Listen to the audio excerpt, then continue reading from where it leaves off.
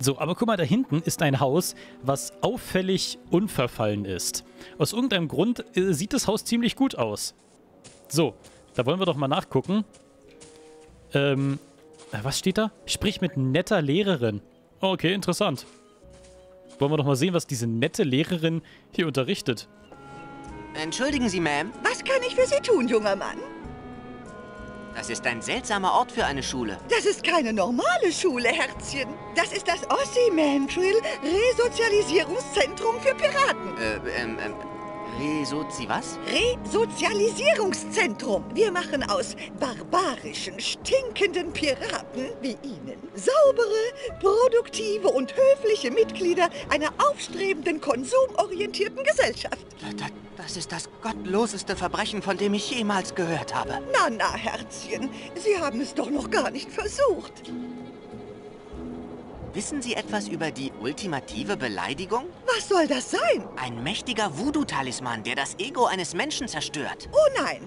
In unseren Schulungsräumen sind Voodoo-Talismane aller Art strengstens verboten. Mr. Mandrill ist der Ansicht, dass der Voodoo einer der Hauptgründe für die ständig wachsende Piratenkriminalität ist. Aber versucht er nicht selber die ultimative Beleidigung zu, zu entschlüsseln? Wussten Sie schon, dass ein Irrer vor der Küste kreuzt? Sie meinen doch nicht etwa den tapferen Admiral Cassava? Tapfer? Er verhindert eigenhändig, dass die ungewaschenen Piratenhorden des Natin-Atolls in unser Paradies auf Jambalaya Island einfallen. Er ist ein Schwachkopf. Die tapfersten Männer sind immer ein klein wenig verrückt, Herzchen. Ich bin es leid, ein schleimiger Pirat zu sein. Tragen Sie mich ein. Wunderbar. Nehmen Sie bitte einen Moment Platz, bevor Sie sich auf den Weg in eine goldene Zukunft machen. Guten Tag, Klasse. Ich bin Miss Rivers. Ich heiße Sie im Ossi Mandrill Resozialisierungszentrum für Piraten herzlich willkommen. Die Akademie ist ein Tochterunternehmen der Ossi Mandrill Enterprises. Indem Sie durch diese Tür gegangen sind, haben Sie bereits einen mutigen Schritt auf Ihrer langen Reise gewagt. Eine Reise, die aus säbelrasselnden Piraten gesunde, normale und vor allem produktive Mitglieder der Gesellschaft machen wird. Und warum haben Sie sich zu diesem Schritt entschlossen? Weil wir keine andere Wahl hatten? Nein, Herzchen. Ihr seid hier, weil ihr ekelhafte Piraten seid, die es verdienen, in der Gosse zu enden und wie räudige Köter erschossen zu werden. So, in den nächsten Stunden werden wir nun gemeinsam versuchen, Ihre gesellschaftsfeindlichen, piratischen Abwehrmechanismen durch akzeptable und vermarktbare Verhaltensweisen zu ersetzen. Das könnte eine Weile dauern. Warum kommen Sie nicht später wieder? Sprechen wir zuerst offen über das Plündern. Und deshalb ist Kielholen so schlecht. Gut mitgedacht, Janja. Kommen wir nun zur Abschlussprüfung. Ich stelle Ihnen drei Fragen, die 90 Prozent Ihrer Note ausmachen. Das klingt unfair. Komm mir nicht so, Schlaumeier. Tut mir leid, Ma'am. Fangen wir an. Janja, Ja, Ma'am? ein schmieriger Fremder bietet Ihnen einen Grog an. Was tun Sie? Ich lehne sein Angebot freundlich, aber bestimmt ab.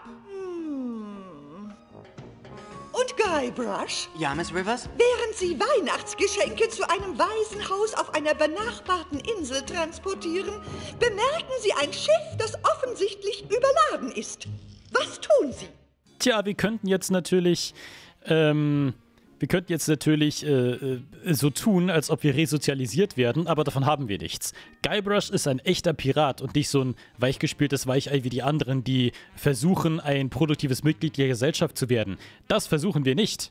Ich werfe die Spielsachen von Bord, hisse die Piratenflagge, entere das Schiff, enthaupte den Kapitän und fackle das verdammte Boot ab.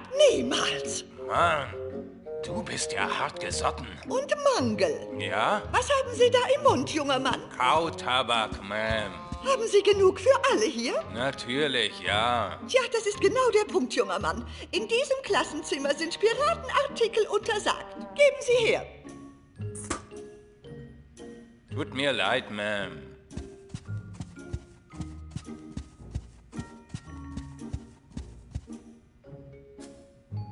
Und Mangel. Ja, Ma'am? Ein Fremder fragt Sie nach der Uhrzeit. Wie reagieren Sie? Äh, ich kann die Uhr nicht lesen. Interessant. Okay, zweite Frage. Guybrush. Ja? Ihr Tofu-Burger wird durchgebraten serviert, obwohl Sie ausdrücklich einen blutigen Burger bestellt hatten. Wie reagieren Sie? Moment, ein Tofu-Burger? Tofu kann blutig gebraten werden? Das gibt's doch nicht. Ich mache das Restaurant im Erdboden gleich und hänge den Chefkoch an seinen Nieren auf. Grundgütiger. Miss Rivers Guybrush ruiniert meine Lernbegeisterung. Mangel. Ja, Ma'am? Nach einem heftigen Groggelage macht sich Ihr 24-jähriger Freund über Ihre Frisur lustig. Wie reagieren Sie? Ich, äh, ich mache einen Witz über seinen fetten Grockbauch. Und Janja, Ja, Miss Rivers? Ihr Kapitän hat sich entschlossen, Kurs auf das Teufelsdreieck zu nehmen. Wie reagieren Sie? Ich unterdrücke meine kaum spürbare, nicht erklärbare Angst und setze meine Arbeit fort. In Ordnung. Kommen wir nun zur dritten und letzten Frage. Mangel. Ja, Ma'am? Ein Angehöriger des anderen Geschlechts weist Ihre Avancen zurück. Wie gehen Sie damit um? Ich, äh, ich schreibe einen obszönen Limerick über die Schlampe an die Klotür. Gut, jetzt Sie, Janja. Ja, Ma'am? Sie beobachten einen Mann, der einen Passanten mit einem Schwert bedroht. Was tun Sie? Ich präge mir das Aussehen des Angreifers ein und wende mich an den nächsten Blauhelm. Okay. Und schließlich Mr. Threepwood. Ja? Bei der Lektüre einer Gedichtsammlung in der Bibliothek fällt eine Schatzkarte aus dem Buch. Wie reagieren Sie?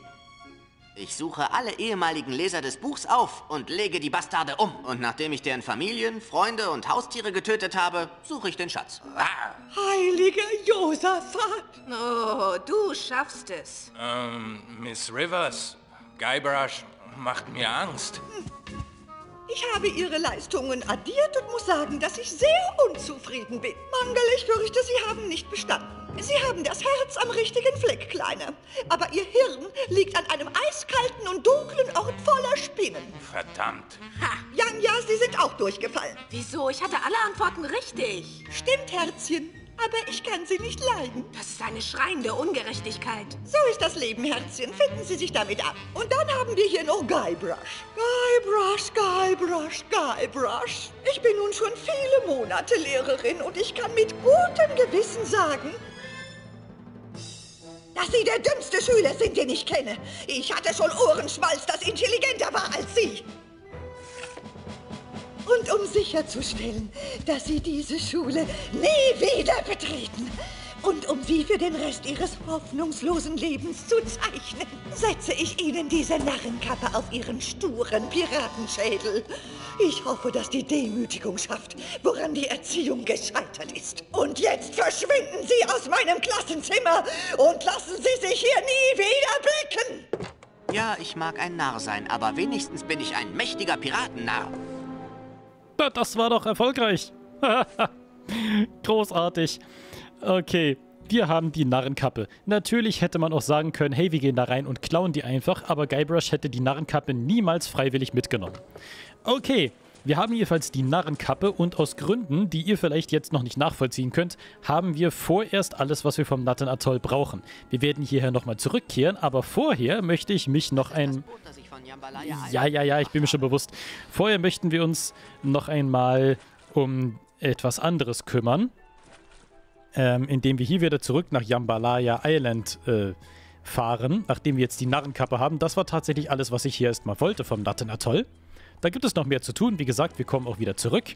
Aber jetzt sind wir erst einmal wieder hier und gehen hier mal wieder zum Turmspringen. Und mit der Narrenkappe auf dem Kopf haben wir nämlich einen aerodynamischeren Körper und äh, werden beim Eintauchen weniger spritzen. Und dann ist der zweite Punkterichter hoffentlich auch zufrieden. Da bin ich wieder. Das sehe ich. Was kann ich für Sie tun, Mr. Threepwood? Ich würde gerne nochmal gegen Sie antreten. Nochmal? Sind Sie Masochist oder was? Ich weiß nicht. Haben Sie China entdeckt oder was? Oh, in Ordnung. Vergessen Sie nicht, Sie wollten es nicht anders. Marco de Pollo mit einer Alpha-Äffchen. Hier holen. Alpha-Äffchen. Kombination. Er braucht für seinen Sprung nun absolute Ruhe.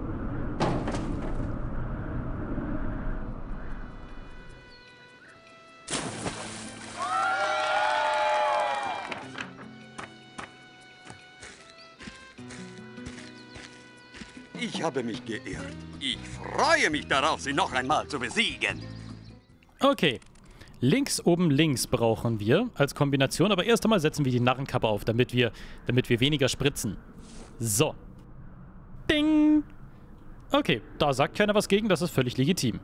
So, links oben links werden wir mal machen. Eh, geh mal, geh mal dahin. Links oben links.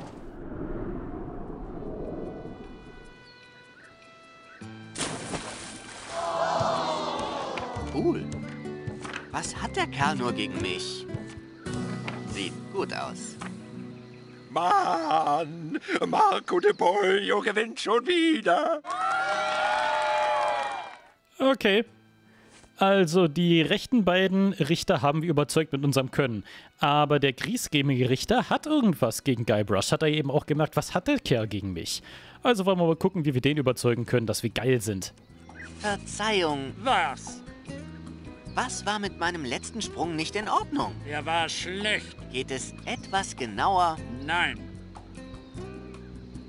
Warum geben Sie mir so niedrige Noten? das ist nicht persönlich gemeint. Aber ich muss eine teure rothaarige Frau, zwei teure rothaarige Kinder und einen teuren rothaarigen Hund ernähren. Können Sie mir folgen? Nicht wirklich. Dann lassen Sie es mich anders versuchen. Mr. Mandrill zahlt mir ein Schweinegeld dafür, dass dieser Mr. DePolio immer gewinnt. Was immer dieser Mandrill Ihnen gibt, ich zahle das Doppelte. Ich bin gerührt, Junior. Aber es ist doch offensichtlich, dass Sie keine zwei Groschen besitzen. Geschweige denn die Mittel, um einer rothaarigen Frau ihren gewohnten Lebensstandard zu finanzieren. Ich fürchte, ich muss Sie mit Ihrer Verdrossenheit alleine lassen. Mir egal. Na wunderbar. Den können wir also nicht überzeugen. Wir könnten ihn höchstens, also mit unserem Können können wir nicht überzeugen. Wir können ihm höchstens mehr Geld geben, was uns aber nicht glaubt, dass wir es haben. Ähm, oder wir müssen ihn irgendwie erpressen. Und wie es der Zufall so will, wir waren doch bei Stan. Und er hat uns eben von seiner teuren rothaarigen Frau erzählt. Und guckt mal, was hier auf diesem Bild drauf ist von der Broschüre vom Timesharing. Hey, ein Bild von dem griesgrämigen Tauchrichter. Aber die Blonde da ist auf jeden Fall nicht seine nette rothaarige Frau. Oho, das ist ja interessant. Das sollten wir ihm mal zeigen.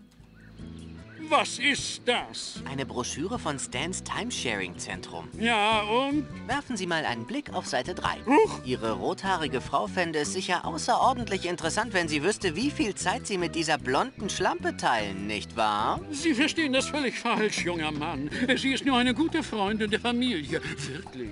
Wirklich? Hm, tja, dann hat Ihre Frau sicher nichts dagegen, wenn ich ihr die Broschüre zeige. Warten Sie. Was wollen Sie? Was ist Ihnen die Sache denn wert? Ich gebe Ihnen Geld, Edelsteine, Häuser, alles. Aber bitte verraten Sie meiner Frau nichts. Na gut, alles, was ich will, ist ein fairer Wettkampf. Das ist alles? Wirklich? Wirklich. Sind wir im Geschäft? Sind wir. Aber glauben Sie mir, es wird Ihnen nichts helfen. DePolio ist zu gut. Ein Anfänger wie Sie hat keine Chance gegen ihn. Na schön. Er will einen fairen Wettkampf. Das bedeutet aber im Umkehrschluss, dass der griesgrämige Richter uns jetzt immer 10 Punkte gibt, ganz egal, was wir machen. Aber weil er von Mandrill bezahlt wird, gibt er, gibt der DePollo auch 10 Punkte. Okay, auf jeden Fall sind wir jetzt schon einmal ein gutes Stück weitergekommen und können ähm, jetzt nochmal Marco DePollo herausfordern. Da bin ich wieder. Das sehe ich. Was kann ich für Sie tun, Mr. Threepwood? Ich würde gerne nochmal gegen Sie antreten. Nochmal? Sind Sie Masochist oder was? Ich weiß nicht. Haben Sie China entdeckt oder was? Oh, in Ordnung. Vergessen Sie nicht, Sie wollten es nicht anders. Marco de Pollo versucht eine schwingendes Schwert. Alpha-Äffchen, Kielhol, Kombination. Ich bitte um absolute Stille für seinen Splung.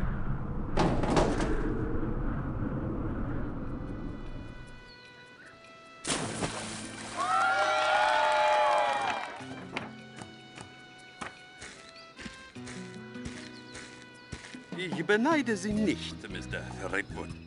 Okay, links, rechts, oben. Und da müssten wir eigentlich auch von jedem 10 Punkte bekommen. Wollen wir mal sehen, ob uns das weiterbringt. So, gehen wir da hin. So. Dann machen wir mal links, rechts, oben.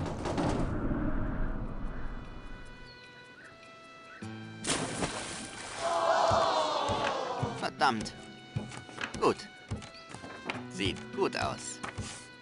Oh, und das ist eine Riesenüberraschung. Marco De Pollio hat wieder gewonnen.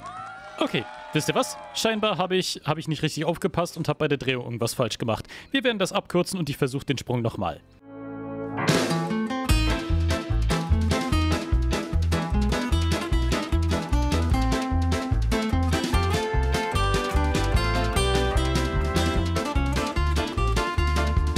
Also jetzt nochmal. Oben, links, oben.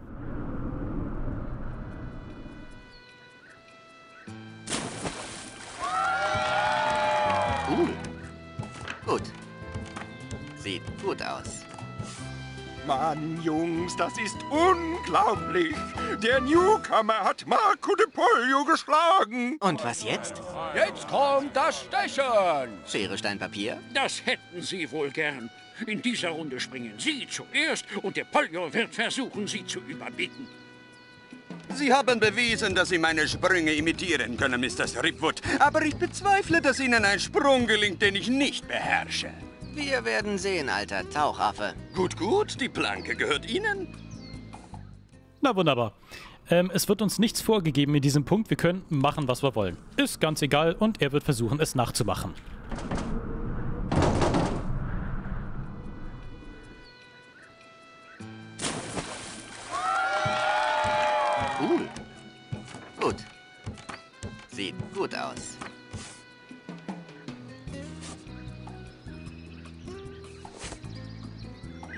Übel, Mr. Threepwood. Äh, Bitte warten Sie hier. Ich muss eben den Herd abschalten. Uh, Jetzt, mein Freund, bewundern Sie den Meister in Aktion. Jetzt versucht Marco De Pollio, Guybrush Threepwoods Sprung zu schlagen. Ich bitte um absolute Ruhe für seinen Sprung.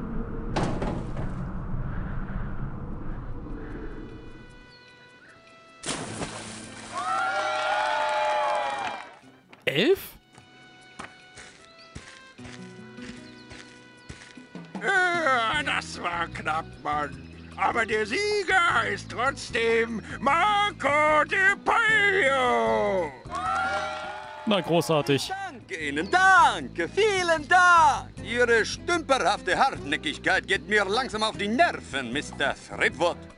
Okay, er hat also von dem von dem weisen alten Richter hat er eine Elf bekommen, weil er noch weniger gespritzt hat, weil er sich vor dem Sprung irgendwie vorbereitet hat. Nämlich damit. Ribea Robbenbabyöl. Ich nehme an, dass dieses Öl für Robbenbabys ist und nicht... Na, denken wir nicht darüber nach. Er hat sich jedenfalls eingeschmiert, um noch weniger zu spritzen. Und äh, das müssen wir irgendwie verhindern, indem wir ihm irgendetwas in sein, in sein Öl rein, äh, rein äh, stopfen, wie ein Bagelklumpen mit Schmierwiss, das ihm irgendwie ein bisschen, ein bisschen äh, die Laune versaut. Hey, da! Da drüben!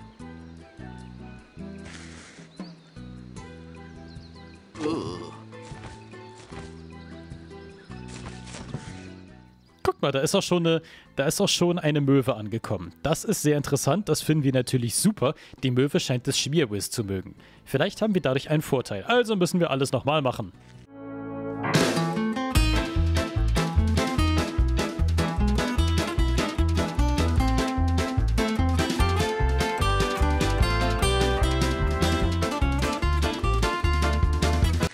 Ich habe mich geirrt. Ich freue mich darauf, Sie noch einmal zu besiegen.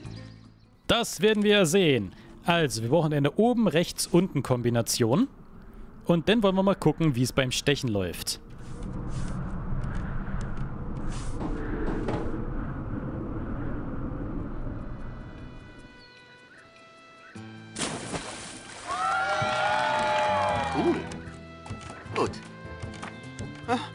Narrenkappe hat wohl funktioniert. Großartig, Junge. Nach diesem Unentschieden hast du das Recht, in einer weiteren Runde gegen der Polio anzutreten. Ich beneide Sie nicht um die Blamage, die Sie gleich erleben werden. Trotzdem, die Planke gehört Ihnen. Okay, wunderbar. Jetzt können wir wieder irgendetwas machen und wir hoffen, dass er sich gleich wieder einschmiert und dann gehörig Probleme mit dem, mit dem Wildleben äh, von Jambalaya Island bekommt.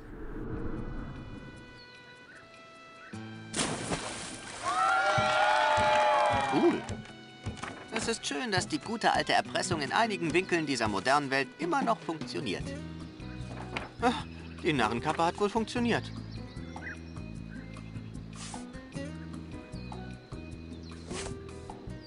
Hübscher Sprung, Mr. Threepwood. Wenn Sie mich einen Augenblick entschuldigen würden.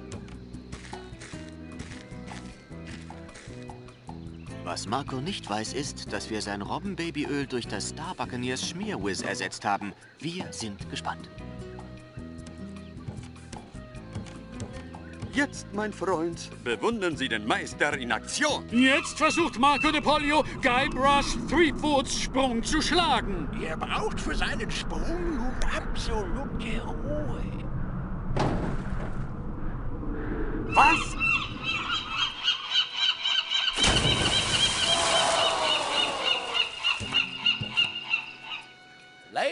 And Gentlemen, Der neue Weltmeister im Plankenspringen heißt... Äh, Guybrush Threepwood. Ich, ich protestiere. Das war kein fairer Wettkampf. Ich fordere eine Revanche. Sofort. Ich bin Marco de Pollio, der größte Plankenspringer der Welt. Marco, Wer war das? Marco. Aufhören! Ich lasse mich nicht verspotten! Aufhören! Aufhören! Aufhören! Ah! Wie es Elaine wohl geht?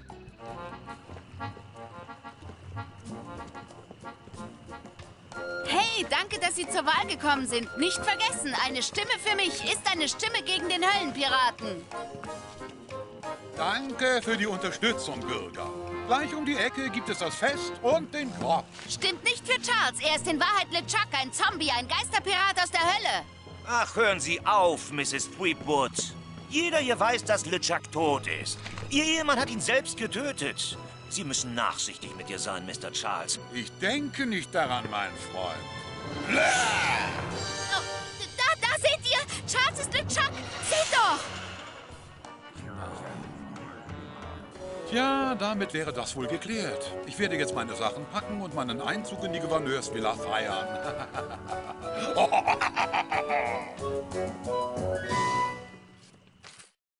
Tja, der Negativwettkampf ist, äh, ist der, der Negativwahlkampf ist tatsächlich von Vorteil. Ich weiß nicht, was ich mit ihm anstellen soll.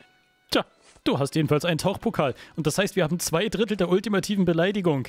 Wir haben hier den Affenkrug und wir haben den goldenen Mann. So, damit habe ich schon zwei Drittel von meiner persönlichen ultimativen Beleidigung. Das ist gar nicht gut. Das sollten wir nicht im Inventar haben.